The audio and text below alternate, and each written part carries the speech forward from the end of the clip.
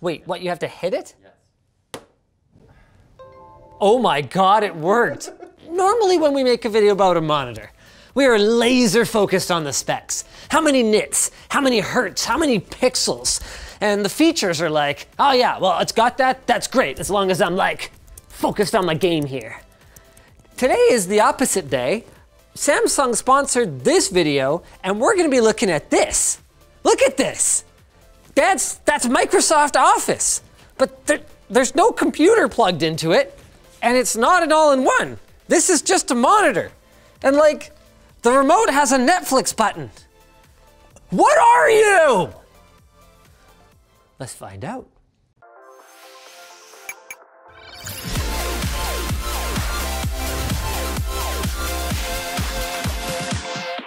The thing is, this is a sponsored video, but this is a product that I have been asking for for so long that I couldn't jump on it fast enough. Or rather, not that I'm asking for this product, but asking why not this product? Monitors have been getting bigger and bigger and bigger to the point where the only difference between a big monitor and a small TV is that the monitor won't have that coaxial jack and it won't have smart TV features and all the like picture quality adjustments and stuff. Well, this, this finally addresses it. Watch this. Whoa! So it's like a tiny little smart TV. You can sit on your desk. It's adorable. That's pretty responsive. So we've got just a regular old MX Master 2S and a gaming keyboard of all things. And got, wow, that's a, that's a giant mouse pointer. Kind of makes sense because like they might expect you to be kind of sitting on your bed. Like I could imagine this in a, in a dorm room, for example, where you've only got room for one display and really it needs to be a computer monitor but hey, you might wanna watch Netflix once in a while. And then this is it.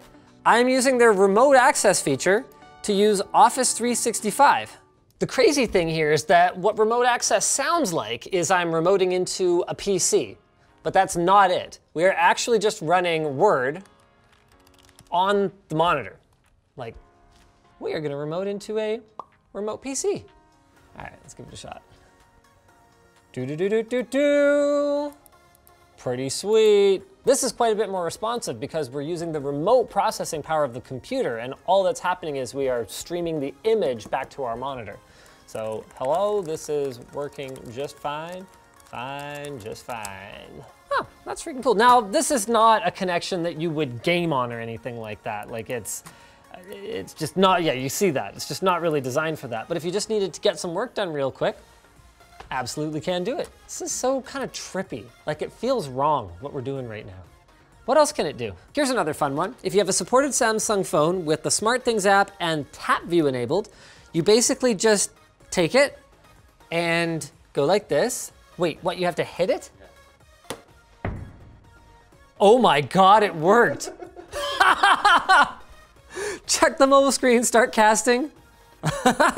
that is the trippiest thing. What was, why would they require that? Freaking fantastic. So like, like what?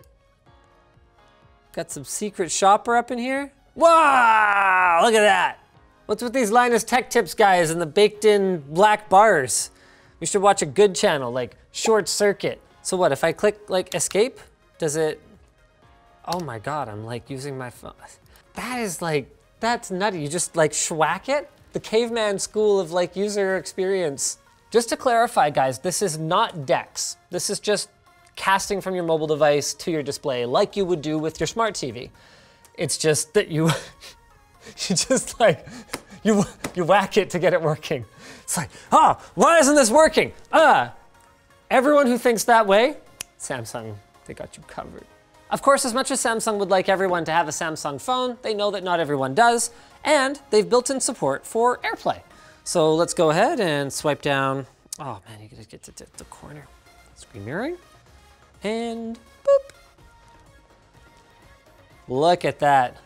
Oh wow, it's actually more responsive too. like, I, I don't make I don't make the experience here. I'm just having the experience. Look at that.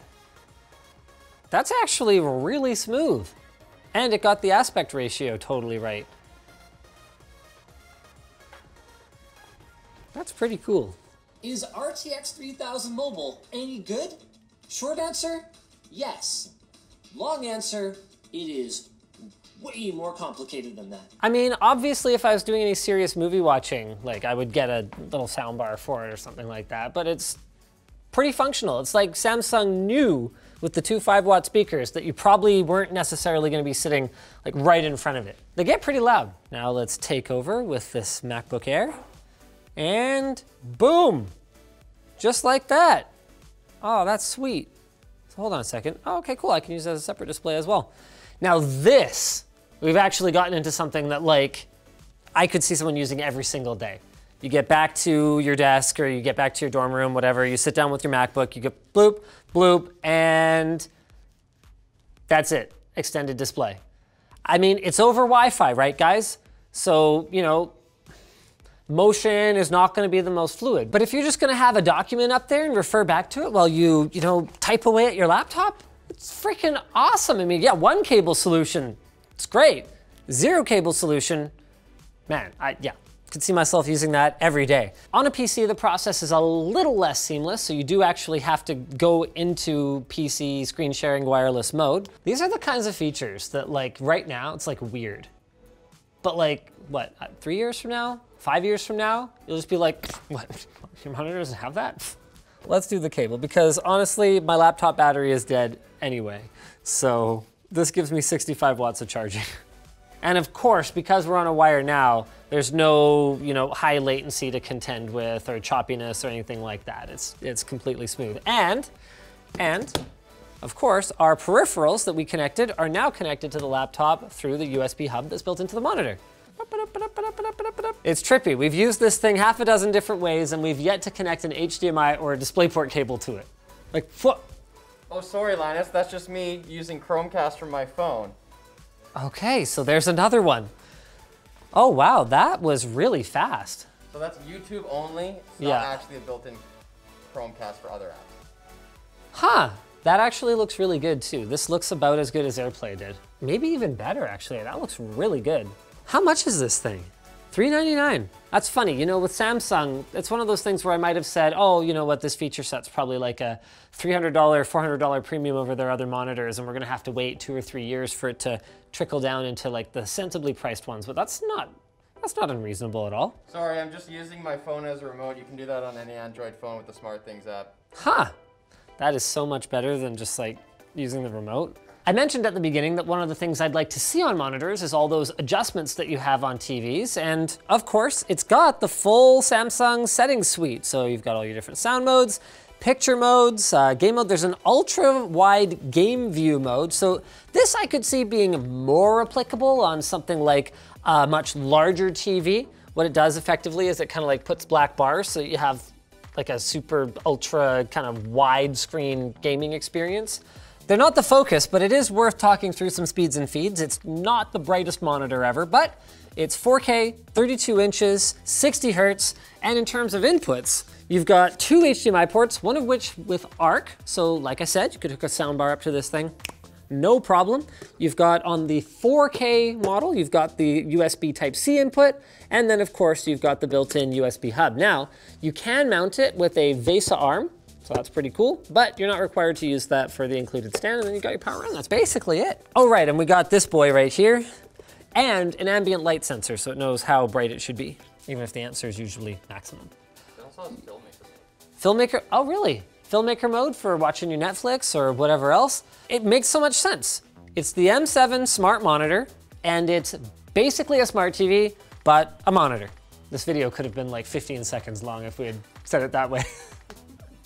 Thanks Samsung for sponsoring this video. Thanks you guys for watching it. I am really looking forward to where this tech goes in the future because I can absolutely see it right now. I'd love to see it like, you know, the latency down, a little bit more responsive, but this is a really cool concept that I have no idea why it took this long to come to market.